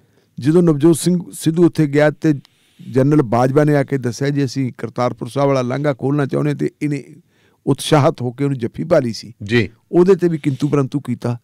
ਲੇਕਿਨ ਜਦੋਂ ਕਰਤਾਰਪੁਰ ਸਾਹਿਬ ਦਾ ਲਾਂਘੇ ਦਾ ਉਦਘਾਟਨ ਕਰਨ ਵਾਸਤੇ ਜਿਹੜਾ ਉਹਨੇ ਬਣਾਉਣਾ ਸੀ। ਉਦਘਾਟਨ ਕਰਨ ਤੋਂ ਪਹਿਲਾਂ ਜਦੋਂ ਨੀਂਹ ਪੱਥਰ ਰੱਖਣਾ ਸੀ ਨੀਂਹ ਪੱਥਰ ਰੱਖਿਆ ਗਿਆ ਉੱਥੇ ਸਾਡੇ ਐਮਪੀ ਕੁਝ ਹੋਰ ਵੀ ਗਏ ਸੀ ਤੇ ਇਹ ਵੀ ਗਿਆ ਸੀ ਤੇ ਉਚੇਚੇ ਤੌਰ ਤੇ ਇਹਦਾ ਜ਼ਿਕਰ ਕੀਤਾ ਸੀ। ਪੰਜਾਬ ਦਾ ਬੱਚਾ ਬੱਚਾ ਇਹਨੂੰ ਅਸੀਸਾਂ ਦਿੰਦਾ ਸੀ। ਵੀ ਜਿਹੜੀਆਂ ਅਰਦਾਸਾਂ ਬਹੁਤ ਲੰਬੇ ਸਮੇਂ ਤੋਂ ਸਿੱਖ ਕਰਦੇ ਆਏ ਸੀ ਕਰਤਾਰਪੁਰ ਸਾਹਿਬ ਦਾ ਲਾਂਘਾ ਖੁੱਲ੍ਹ ਜੇ ਤੇ ਇਹਦਾ ਕਰਕੇ ਖੁੱਲ ਗਏ। ਨਵਜੋਤ ਸਿੰਘ ਸਿੱਧੂ ਕਈ ਵਾਰੀ ਮਤਲਬ ਆਪਾਂ ਵੀ ਜ਼ਿਕਰ ਕੀਤਾ ਵੀ ਬੰਦਾ ਧਾਰਮਿਕ ਹੈ। ਉਹ ਕਹਿੰਦਾ ਵੀ ਮੇਰੀ ਮਾਂ ਜਿਹੜੀ ਹੈ ਹਿੰਦੂ ਭਾਈਚਾਰੇ ਚੋਂ ਤੇ ਪਿਓ ਮੇਰਾ ਸਿੱਖ ਭਾਈਚਾਰੇ ਚੋਂ ਇਸ ਕਰਕੇ ਮੈਂ ਭਾਈ ਆਪਦੀਆਂ ਮੰਨਦਾ। ਦੋਨਾਂ ਧਿਰਾਂ ਨੂੰ ਮੰਨਦਾ ਮੈਂ ਹਿੰਦੂ ਧਰਮ ਨੂੰ ਵੀ ਮੰਨਦਾ ਤੇ ਮੈਂ ਸਿੱਖ ਧਰਮ ਨੂੰ ਵੀ ਮੰਨਦਾ। ਖੈਰ ਗੱਲ ਕੋਈ ਨਹੀਂ ਬੰਦੇ ਦੀ ਇਹ ਸੋਚ ਕੋਈ ਨਹੀਂ। ਸੋਚ ਕੋਈ ਮਾੜੀ ਨਹੀਂ ਗਈ ਪਰ ਉਹਨਾਂ ਨੇ ਇੱਕ ਅਵਗਿਆ ਕਰ ਲਈ। ਹੂੰ। ਉਹ ਅਵਗਿਆ ਜਿਹੜੀ ਉਹ ਹਜ਼ਮ ਨਹੀਂ ਆ ਰਹੀ ਲੋਕਾਂ ਨੂੰ। ਅਵਗਿਆ ਇਹ ਕਰ ਲਈ ਕਿ ਉਹਨੇ ਇੱਕ ਸ਼ਾਲ ਲੈ ਲਿਆ ਉਹਦੇ ਤੇ ਸ਼ਾਲ ਸੀ ਲੋਈ ਸੀ ਜਾਂ ਕੀ ਸੀ ਤੇ ਉਹਦੇ ਉੱਤੇ ਦੋ ਨਿਸ਼ਾਨ ਜਿਹੜੇ ਹੈ ਉਹ ਪ੍ਰਿੰਟ ਸੀ। ਇੱਕ ਤਾਂ ਏਕ ਓੰਕਾਰ ਇੱਕ ਤੇ ਇੱਕ ਖੰਡਾ। ਖੰਡਾ। ਉਹ ਜਿਹੜੇ ਖੰਡੇ ਕਿਰਪਾਨਾਂ ਵਾਲਾ ਸੀ ਉਹ ਲੈ ਕੇ ਮੂਰੇ ਪਤੰਦਰ ਨੇ ਪ੍ਰਦਰਸ਼ਨ ਵੀ ਕੀਤਾ ਦਿਖਾਇਆ ਵੀ। ਮੂਰੇ ਕਰਕੇ ਕਿ ਮੇਰੇ ਤੇ ਆ ਲੈ ਤੇ ਨਾਲ ਦੀ ਨਾਲ ਹੀ ਸਾਰਾ ਕੁਝ ਵਾਇਰਲ ਹੋ ਗਿਆ। ਫਿਰ ਕੁਝ ਲੋਕਾਂ ਨੇ ਜਾ ਕੇ ਅਕਾਲ ਤਖਤ ਸਾਹਿਬ ਦੇ ਜਥੇਦਾਰ ਸਾਹਿਬ ਦੇ ਕੋਲੇ ਕੀਤੀ ਸ਼ਿਕਾਇਤ। ਜੀ। ਕਿ ਜੀ ਇਹਦੇ ਖਿਲਾਫ ਕਾਰਵਾਈ ਕਰੋ ਇਹਨੇ ਤਾਂ ਗਲਤ ਕਰਤੀ। ਹੂੰ ਹੂੰ। ਅਕਾਲ ਤਖਤ ਸਾਹਿਬ ਦੇ ਜਥੇਦਾਰ ਨੇ ਕੋਈ ਪੜਤਾਲ ਵਗੈਰਾ ਕਰਨੀ ਮੁਨਾਸਬ ਨਹੀਂ ਸਮਝੀ ਤੇ ਉਹਨਾਂ ਨੇ ਹੁਕਮ ਦੇਤਾ ਕਿ ਸੰਗਤਾਂ ਤੋਂ ਮਾਫੀ ਮੰਗੇ। ਪਰ ਮੈਨੂੰ ਬੜੀ ਸੰਤੁਸ਼ਟੀ ਹੋਈ ਹੁਣ। ਅਕਾਲ ਤਖਤ ਸਾਹਿਬ ਦੇ ਜਥੇਦਾਰ ਨੇ ਕੱਲ ਕਿਹਾ ਤੇ ਅੱਜ ਉਹਨੇ ਟਵਿੱਟਰ ਦੇ ਉੱਤੇ ਬਿਨਾਂ ਸ਼ਰਤ ਮਾਫੀ ਮੰਗ ਲਈ। ਜੀ। ਉਹਨੇ ਕਿਹਾ ਵੀ ਅਣਜਾਣੇ 'ਚ ਜਿਹੜੀ ਮੈਥੋਂ ਗਲਤੀ ਹੋਈ ਹੈ ਮੈਂ ਮਾਫੀ ਮੰਗਦਾ। ਔਰ ਅਕਾਲ ਤਖਤ ਸਾਹਿਬ ਦਾ ਜਿਹੜਾ ਹੈਗਾ ਅਕਾਲ ਤਖਤ ਸਾਹਿਬ ਸਾਡੇ ਲਈ ਸੁਪਰੀਮ ਹੈ। ਜੀ। ਇਹਦੀ ਸੁਪਰੀਮ ਅਥਾਰਟੀ ਨੂੰ ਮੈਂ ਨਤਮਸਤਕ ਹੋਣਾ ਮੇਰਾ ਖਿਆਲ ਹੈ ਜੇ ਸਵੇਰ ਦਾ ਭੁੱਲਿਆ ਸ਼ਾਮ ਨੂੰ ਘਰੇ ਆ ਜੇ ਤੁਹਾਨੂੰ ਮਾਫ ਕਰ ਦੇਣਾ। ਦੇਣ। ਕਿਉਂਕਿ ਇਹ ਸੈਲੀਬ੍ਰਿਟੀ ਹੈ ਕਈ ਚੀਜ਼ਾਂ ਦਾ ਦਾਨੇ ਵਾਲੀਆ ਸਾਹਿਬ ਬੰਦੇ ਨੂੰ ਪਤਾ ਵੀ ਨਹੀਂ। ਪਤਾ ਨਹੀਂ ਹੁੰਦਾ ਜੀ ਕਈ ਵਾਰੀ ਬਣਾ ਗੱਲ ਮਤਲਬ ਉਹ ਠੀਕ ਹੈ ਵੀ ਉਹ ਬੰਦਾ ਚਲੋ ਵੀ ਆ ਚੀਜ਼ ਸੋਹਣੀ ਲੱਗਦੀ ਆਪਾਂ ਲੈ ਲਓ। ਪਰ ਉਹ ਸਾਡੀ ਮਰਿਆਦਾ ਦੇ ਵਿੱਚ ਇਸ ਤਰ੍ਹਾਂ ਗੱਲ ਨਹੀਂ ਹੁੰਦੀ ਖੈਰ ਕੁੱਲ ਮਿਲਾ ਕੇ ਜਿਹੜਾ ਹੈਗਾ ਜਿਹੜੇ ਜਿਸ ਢੰਗ ਦੇ ਨਾਲ ਅਕਾਲ ਤਖਤ ਸਾਹਿਬ ਦੇ ਜਥੇਦਾਰ ਨੇ ਕਿਹਾ ਤੇ ਉਹਨੇ ਮੰਨਿਆ। ਇਹਦੇ ਚ ਇਹਦੇ ਚਲੋ ਸਾ ਮੈਂ ਵੀ ਕਈ ਵਾਰੀ ਕਹਿ ਦਿੰਦਾ ਹੁੰਦਾ ਕਿਸੇ ਦੀ ਗੱਡੀ 'ਚ ਖੰਡਾ ਲੱਗਿਆ ਹੁੰਦਾ ਜਾਂ ਹੋਰ ਲੱਗਾ ਹੁੰਦਾ ਇੱਕ ਓਂਕਾਰ ਲੱਗਾ ਹੁੰਦਾ ਮੈਂ ਕਹਿੰਦਾ ਯਾਰ ਵੀ ਗੱਡੀ 'ਚ ਨਾ ਲਾਇਆ ਕਰੋ। ਕਹਿੰਦੇ ਕਿਉਂ ਮੈਂ ਕਿ ਯਾਰ ਦਾਰੂ ਸਿੱਕਾ 100 ਤੁਸੀਂ ਗੱਡੀ 'ਚ ਬਿਲਕੁਲ। ਬਿਲਕੁਲ, ਤੇ ਗੱਲ ਮਾੜੀ। ਆ ਮੈਂ ਹੁਣ ਇੱਕ ਦੇਖਿਆ ਸੀ ਕੱਲ ਹੀ ਮੈਂ ਇੱਕ ਥਾਂ ਤੇ ਪੜ ਰਿਹਾ ਸੀ।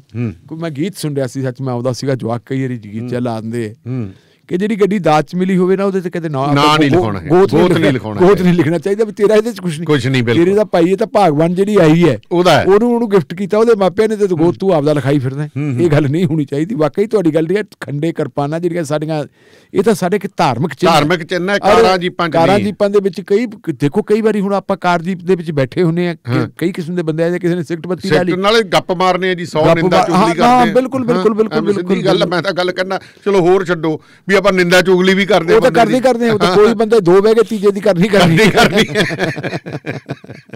ਸੋ ਇਹ ਚੀਜ਼ਾਂ। ਗ੍ਰੇਸ ਕਰਨਾ ਧੰਨਵਾਦ ਤੁਹਾਡਾ ਜੀ ਸ਼ੁਕਰੀਆ। ਸੋ ਪ੍ਰੋਗਰਾਮ ਸ਼ਮਾਦਾਨ ਬਾਦ ਦਸਤੂਰ ਜਾਰੀ ਰਹੇਗਾ ਜੀ ਤੇ ਫਿਲਹਾਲ ਇੱਕ ਬ੍ਰੇਕ ਬ੍ਰੇਕ ਤੋਂ ਬਾਅਦ ਫਿਰ ਹਾਜ਼ਰ ਹੋਣੇ ਜੁੜੇ ਰਹੋ ਰੇਡੀਓ ਪੰਜਾਬ ਟੁਡੇ